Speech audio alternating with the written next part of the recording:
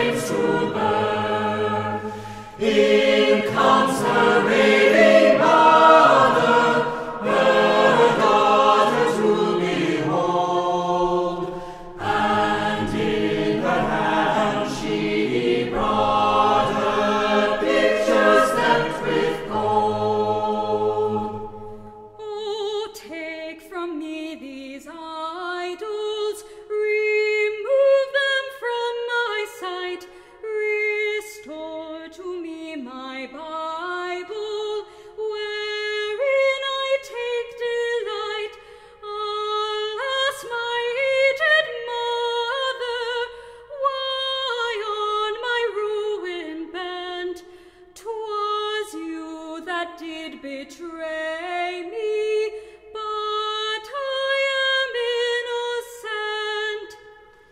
Tormentors, use your pleasure and do as you think best.